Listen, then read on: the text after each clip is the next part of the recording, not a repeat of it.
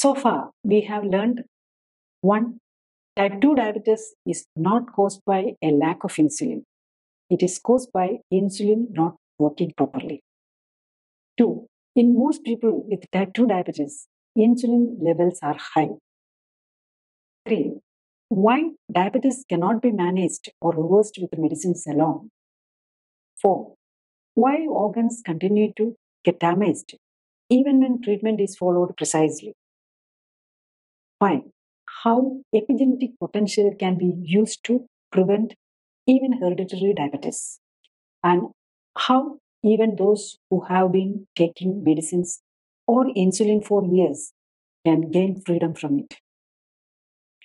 6. How lifestyle correction can influence genetic expression itself and help overcome hereditary diabetes. To know more, please click the video link.